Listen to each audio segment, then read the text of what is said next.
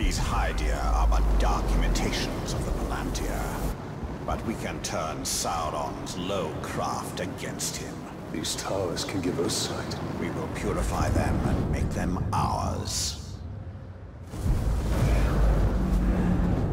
Adligo on ten, Amonion.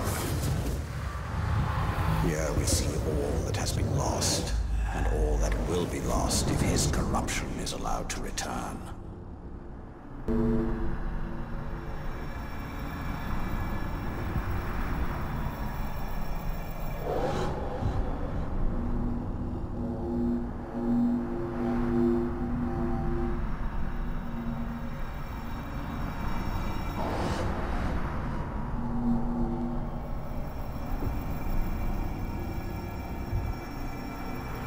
The city is built on the ruins of my kingdom, yet some things remain.